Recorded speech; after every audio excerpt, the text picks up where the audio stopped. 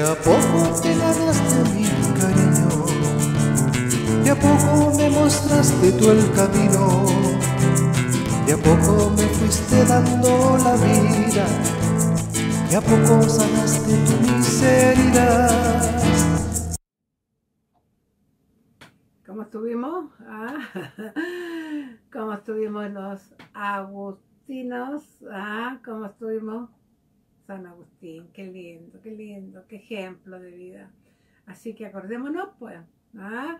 de pedirnos que nos ayude junto con su mamita a pedir por todos esos descargaditos que tenemos en nuestra familia. ¿ya? A lo mejor yo estoy descargadito, eras tú, bueno, pero vas a volver, el Señor te está esperando.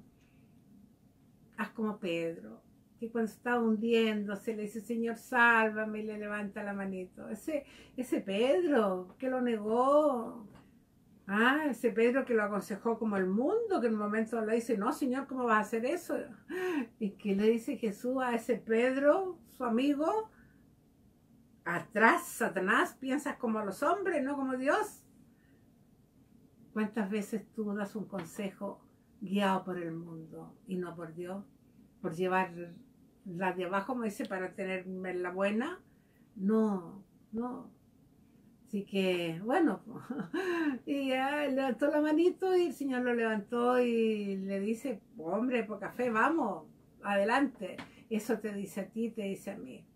Y qué mejor que, que Agustín entenderlo. Así que él goza y sabe la diferencia que había entre vivir con el mundo, llevándose por el mundo, a cómo era ahora vivir con el Señor. Así que Él te va a ayudar, porque Él quiere que tú vivas así también como Él está viviendo. Bueno, y hoy día también tenemos otro ejemplo, muy bien, la muerte de Juan Bautista, el primo de Jesús, ¿ya? El primo de Jesús que fue, iba delante el Señor, preparando el camino, diciendo a la gente que se convirtiera, ¿ah? Soy la voz que predica en el desierto, porque la gente no lo, ¿no? no lo tomaba mucho en cuenta. Pero había un hombre que sí que lo respetaba y que se, sentía que Juan Bautista era un gran hombre. Ese era Herodes. Pero, pero hay un pero, ¿ya? Y vamos a ver aquí un poquito lo que nos dice nuestro libro.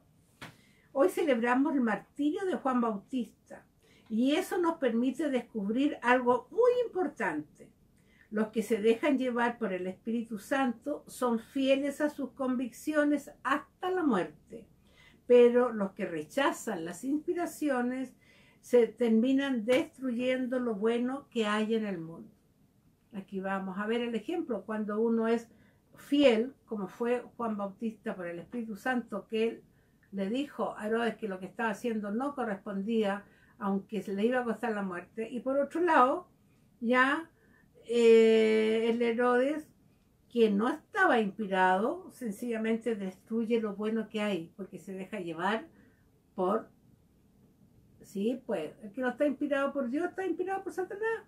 Y mira lo que dice más adelante. Porque admiraba Herodes a Juan, lo protegía, lo consultaba y lo escuchaba pero no podía negarse a entregar la cabeza de Juan para no quedar mal delante de los invitados. Hasta ese momento, Herodes respetaba a Juan.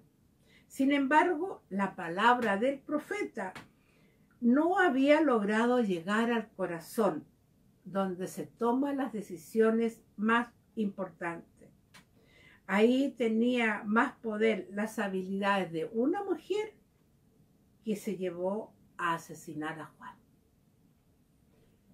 Él, sabiendo lo que era Juan, y la mujer enojada, ¿por qué? Porque le estaban diciendo que no estuviera ahí con él, iba a perder el palacio, iba a perder todo, ya logra seducir con un baile a Herodes. Y la hija va y le dice, madre, ¿qué pido? Me ha, dicho es que me dan lo que quiera. Y la madre para deshacerse de Juan dice, la cabeza de Juan. Y ahí está esa decisión de Herodes. Quería a Juan, respetaba a Juan, pero delante de los invitados había dicho que lo que quisiera, no podía quedar mal frente a los invitados. Ahí hay que reconocer un error, errores que debiera haber hecho. Yo te dije lo que quieras, pero no, eso no, porque ese hombre es bueno y, todas las cualidades. Aunque sus invitados todos le dijeron que no, se enojaron. El respeto humano. Le doy el gusto a los demás y no al Señor. Así que hoy día, hermano, hermano querido, quedémonos con esta enseñanza. Somos héroes que nos dejamos llevar por los demás y no por lo que yo creo, o somos como Juan, que llevamos al Señor hasta la muerte. Así que hermano, hermano querido, hoy día digámosle, Señor, ayúdame a ser consecuente y a no dejarme llevar por el respeto a los demás, el respeto humano que me lleva a dejar de ser tu fiel discípulo.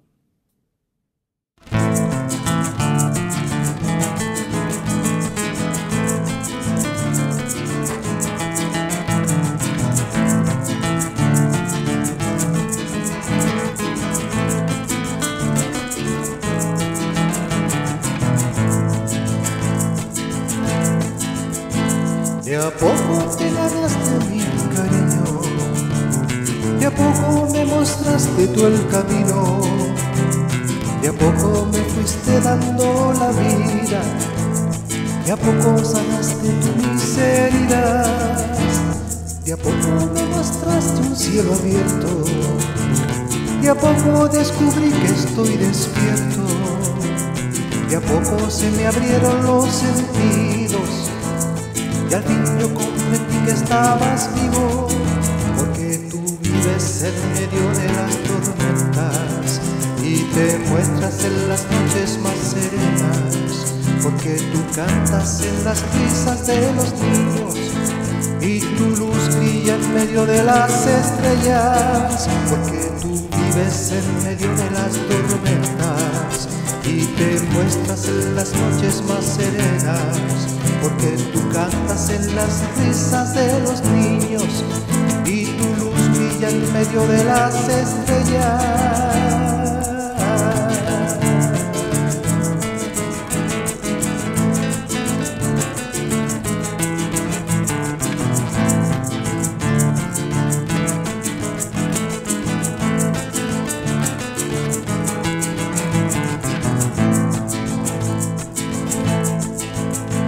De a poco te ganaste mi cariño, a poco me mostraste tú el camino, de a poco me fuiste dando la vida, de a poco sanaste tu miseria, de a poco me mostraste un cielo abierto, de a poco